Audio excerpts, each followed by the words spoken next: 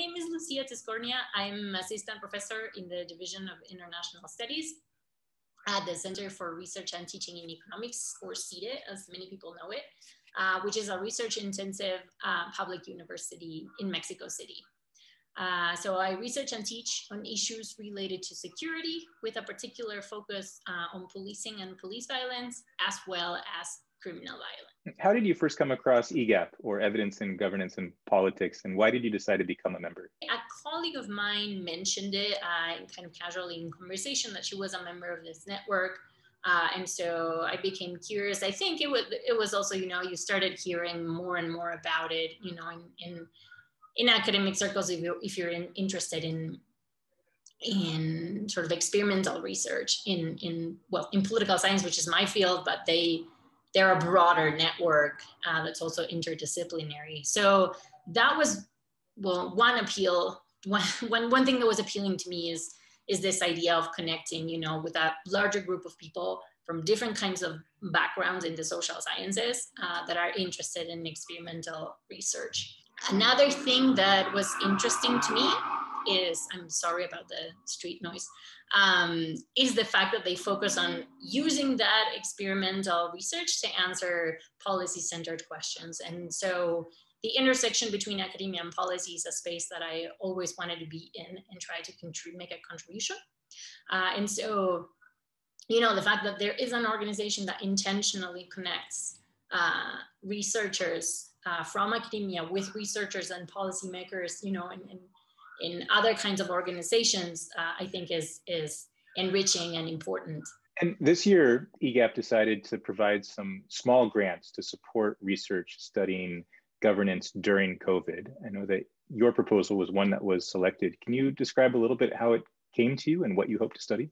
Since the beginning of the pandemic, uh, we've seen, you know, multiple news reports about how criminal organizations in certain parts of Mexico have adopted, you know, violent strategies to enforce uh, arbitrary lockdowns, uh, whereas others were providing, you know, neighborhood residents with maybe food or offering to pay bills. Uh, so sort of more benevolent uh, control strategies. Uh, so our goal with the project is to understand, you know, why criminal organizations have employed uh, these differential strategies to control local populations uh, in the context of the of the pandemic. Uh, so substantively, this is important because we know very little about, you know, criminal social control strategies versus, for example, political strategies. So what do I mean by that? So we know a lot more about, you know, under what conditions there will be violence against the state or against politicians or confrontations, you know, with the, with the security apparatus.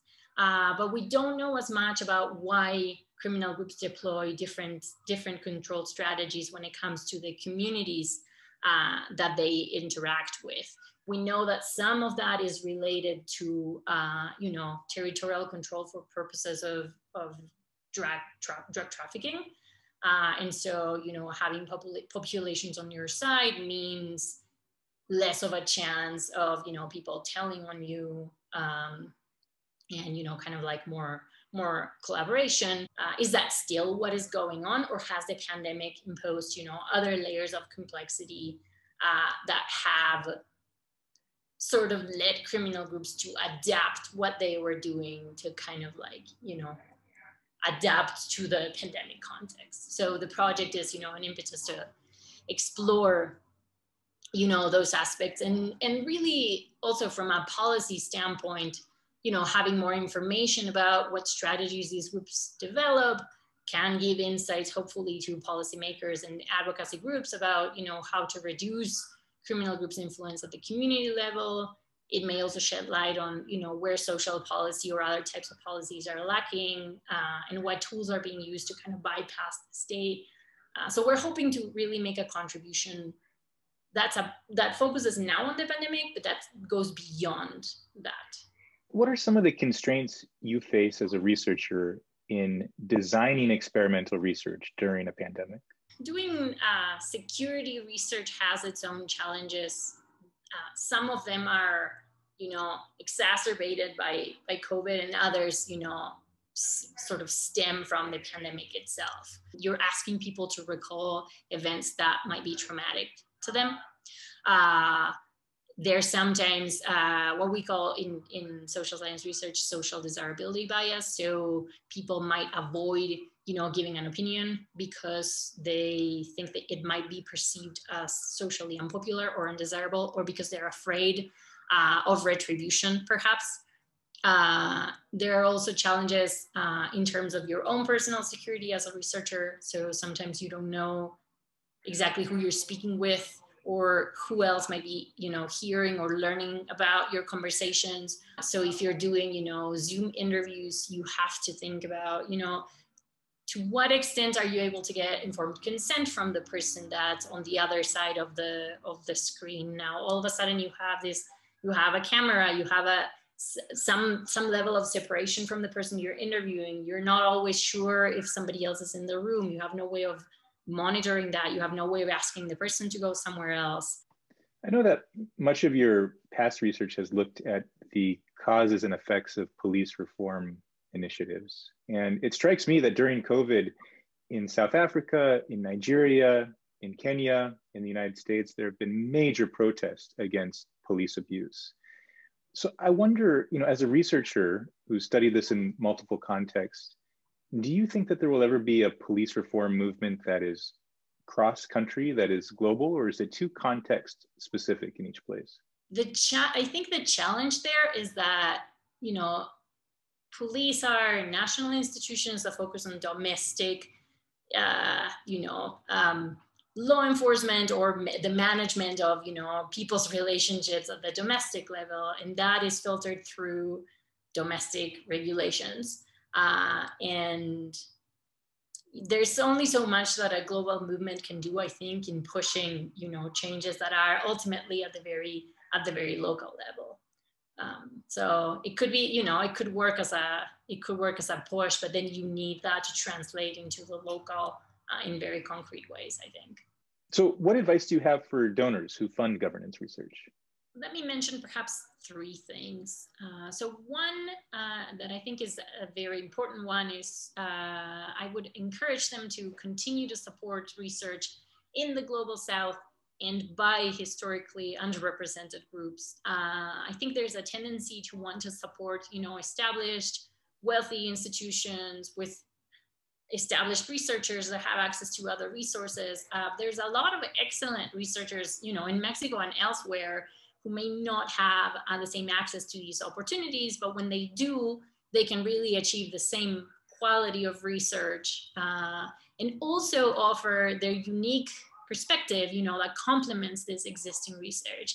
Another point, I think, you know, thinking about the research that we're doing here in Mexico is I think the importance of funding projects that have a focus on, you know, variation within countries, so at the local level.